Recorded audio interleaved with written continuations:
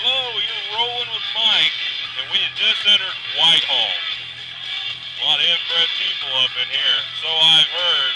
That's just what I've heard. That's the rumor going around. So we're in Whitehall, and I'm going to work. I'll tell you what, it stinks. The, the air here really stinks. I, I feel sorry for the people of Whitehall.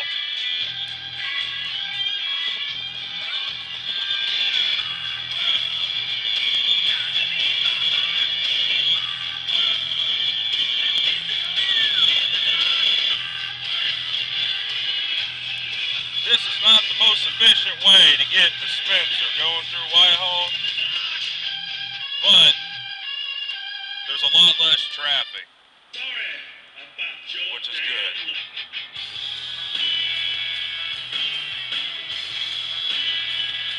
A lot of farmland up in here. At least that's what it looks like.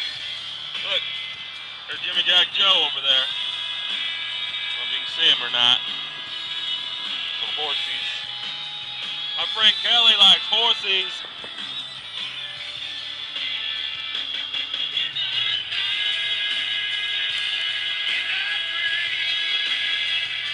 Well, I guess that's all for Rolling with Mike, edition number one.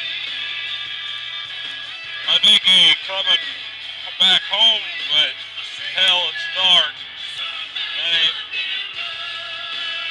When you can't even freaking see anything. Well, you guys have a great night, and thanks for watching.